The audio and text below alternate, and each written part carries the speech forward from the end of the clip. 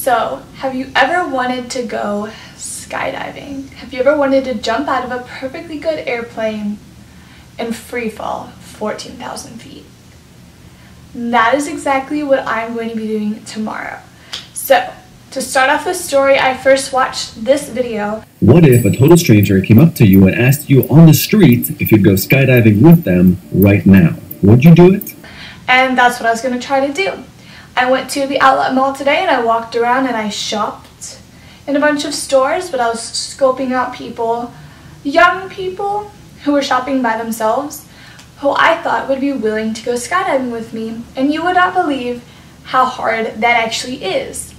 I asked a few people, two people were almost about to say yes.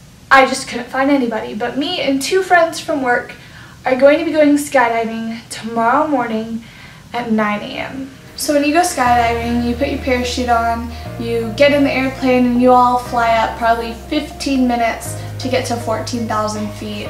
And in that moment while you're all sitting there flying higher and higher, you realize that like this is crazy you're actually doing it, you're actually skydiving. And then the door opens, the light turns green, and people start jumping out.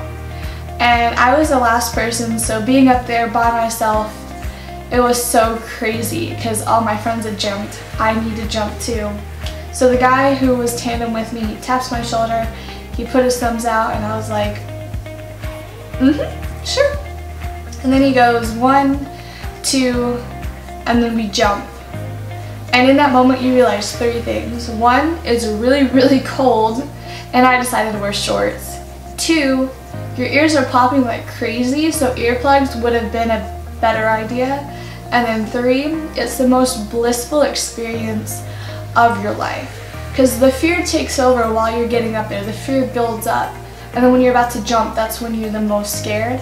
But as soon as you jump, you realize that you have no control over what's going on and you just have to sit there, enjoy the feeling, and float. That's the word I'd use to describe it. You feel like you're floating. And you get to look out and see everything for miles and miles and miles. And while you're going down, you realize you're so happy that you went skydiving and you're so happy you didn't let fear stop you.